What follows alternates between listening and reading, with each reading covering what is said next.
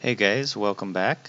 So in the end of the last tutorial, we had just finished creating our first enemy, and I actually noticed something that I wanted to share with you guys um, that's going to lead into our next tutorial today, and that is we're going to open up our enemy right here, and just for demonstration purposes, I'm going to change the amount that it's going to hurt us from 5 to 25. I'm going to compile and save this. We're going to play our game here. Now if you remember the first thing we created, we used the F key to hurt our player. And as you see, I keep hitting F, we end up getting to zero health and we quit the game. Now I'm going to start this back up, and this time I'm going to use our enemies to take our health down to zero.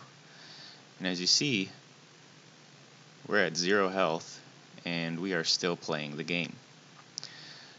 So what is going on there? Well, if we open up our enemy, we'll look and see this uh, bit of code that's actually taking away the health right here. And you see after it, there's nothing. We don't check to see what the player health is, we don't do anything after that.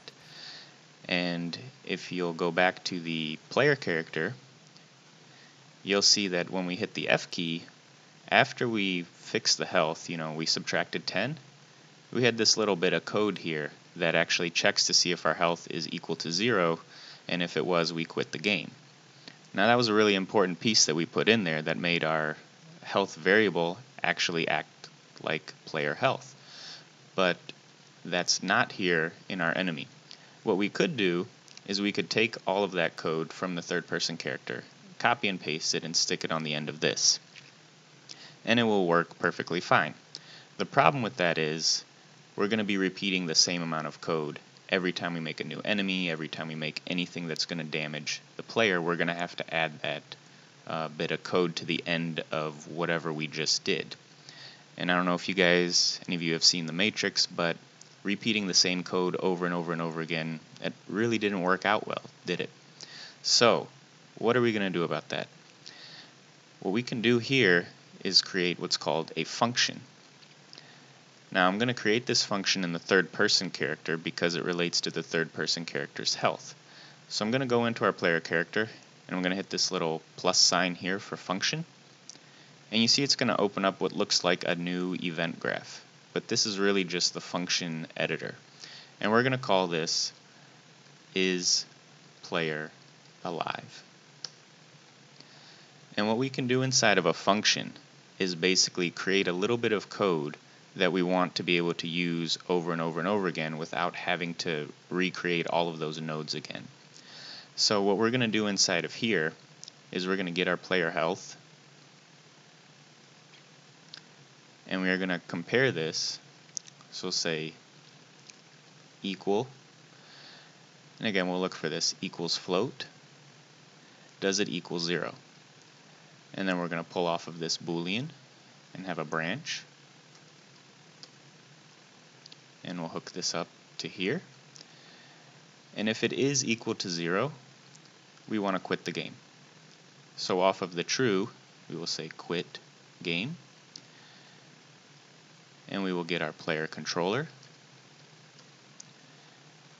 And we'll be able to quit. And obviously if it's not zero, we're not going to do anything. So we're going to compile and save this. So how does this help us out?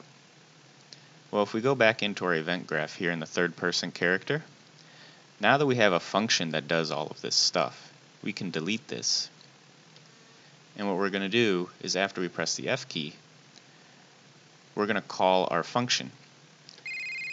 So we're going to say call, and you see here it comes up in function, is player alive. And that's the nice thing about functions. They're little bits of code that you can actually give a name to. And now the compiler will actually know to go into this function here, is player alive. So after we push the F key and we set the health, it's going to execute these nodes. So what we can do with that now is we can go into our enemy and we can call that function the enemy. Now if you remember that function's in the third person character, so just like health, we have to get it from within the third person character here. So we're going to say call is player alive. And now we are able to call that function from our enemy. And what this allows us to do is, as we make more and more enemies and your game expands and you have more actors and objects and things, you don't have to keep rewriting this code. You can just call this function very nice and simple here. So now we'll compile and we will save and we'll test this out. So now I'm going to hit the F key first to make sure everything was working fine. And you see we quit the game. We got to zero and we're now out of the game. Now is this going to work for our enemy? So let's see. And there you go. We got down to zero and it also quit the game. And that is the beauty of functions.